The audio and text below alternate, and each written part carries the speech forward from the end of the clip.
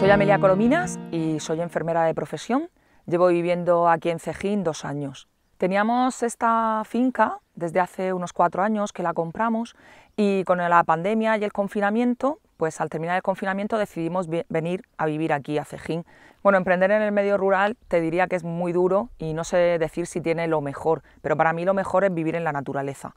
Sí que es difícil intentar sacarlo adelante, pues encontrar a alguien que te eche una mano, coger la fruta, abonar, regar, estar pendiente de todo, pero tiene la satisfacción de estar viviendo en un entorno muy bonito, muy agradable y ver cómo la tierra es muy agradecida, que lo que tú inviertes en ella te lo devuelve.